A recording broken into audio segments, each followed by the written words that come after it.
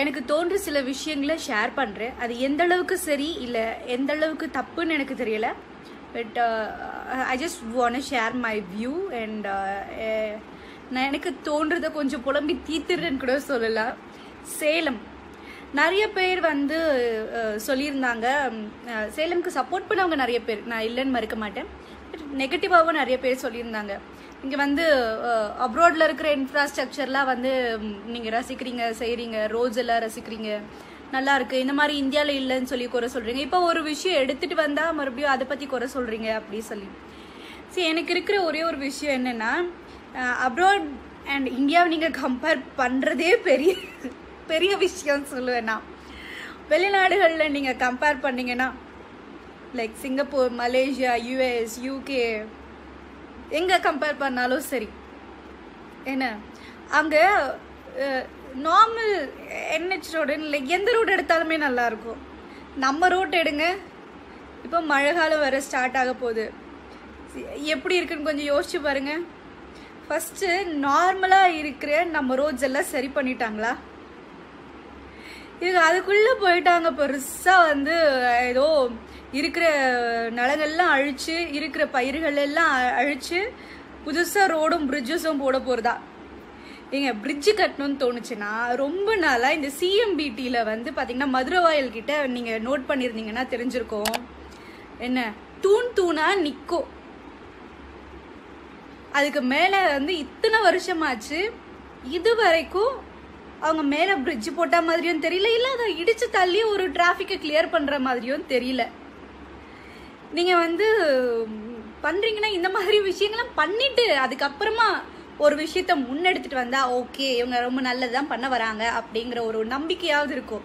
சரி அடுத்த ஒரு விஷயம் நான் எல்லாருக்குமே சொல்ல விரும்புகிறேன் அதாவது வெளிநாட்டையும் இங்கேயும் வந்து கம்பேர் பண்ணுறவங்கள நீங்கள் அங்கேயுமே எடுத்துக்கிட்டிங்கன்னா விவசாயம் அழிச்சிட்டு வந்து விவசாயத்தை அழிச்சிட்டு எந்த ஒரு விஷயமும் எடுத்துகிட்டு வர மாட்டாங்க.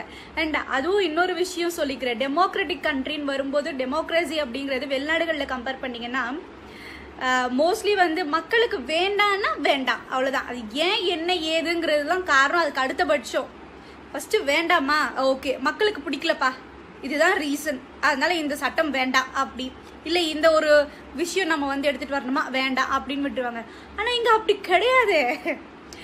இது அதுவும் விவசாயத்தை அழிச்சு ஒருத்தருடைய வாழ்வாதாரத்தை அழிச்சு ஒரு சந்ததியோடைய வாழ்வாதாரத்தை அழிச்சு இல்லை வந்து அடுத்த தலைமுறை இல்லை அடுத்த சந்ததிக்கு உண்டான ஏதொரு விஷயமும் வைக்காம அதை அடியோட அழிச்சு ஒரு ரோடு நமக்கு கேக்குதா?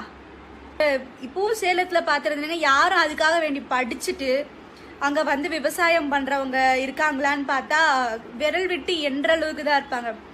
இது முழுக்க முழுக்க பாத்தீங்கன்னா வந்து தலைமுறை தலைமுறையா விவசாயம் பண்ணவங்களா தான் இருப்பாங்க. ஸோ அந்த மாதிரி இருக்கக்கூடிய ஜனங்க கிட்ட நீங்க திடீர்னு போயிட்டு வீட்டை காலி பண்ணுங்க. இத்தனை கோடி ரூபாய் தரேன் அத்தனை கோடி ரூபாய் தரேன்னு சொன்னாலுமே அது வந்து எந்த வகையிலையும் அவங்களுக்கு ஏத்துக்க கூடியதா இருக்காது. சரி இவ்வளோ கோடி ரூபாய் கொடுக்குறதா நீங்கள் வாக்குறுதி கொடுக்குறீங்க? இதுக்கு முன்னாடி கொடுத்த வாக்குறுதியெல்லாம் கொஞ்சம் யோசிச்சு பாருங்க. இதுக்கு முன்னாடி கூட வந்து நிறைய வாக்குறுதிகள் இந்த மாதிரி பணம் பட்டுவாடா நடக்கிற விஷயத்தில் பேசியிருந்தீங்க. அது எல்லாத்தையும் நிறைவேற்றிட்டீங்களா எல்லாருக்கும் எல்லாமே எல்லா பணமும் செட்டில் ஆயிடுச்சா? இதுக்கு முன்னாடி நீங்கள் நிலம் வந்து கையகப்படுத்தின நிலங்களுக்கெல்லாம் வந்து அவங்களுக்கு உண்டான காசெல்லாம் போய் சேர்ந்துருச்சா? நீங்கள் பண்ணுற விஷயத்த ஜஸ்ட் யோசிக்க யோசிச்சு பண்றீங்களா? இல்ல யாருக்காவது அடிமை வேலை பண்ணி பண்றீங்களா? இல்ல அவங்க வந்து உங்களை மிரட்டி பண்ண வைக்கிறாங்களா? உண்மையாகவே உண்மையாவே நீங்களா மக்கள் சேவைக்கு தான் வந்திருக்கீங்களா?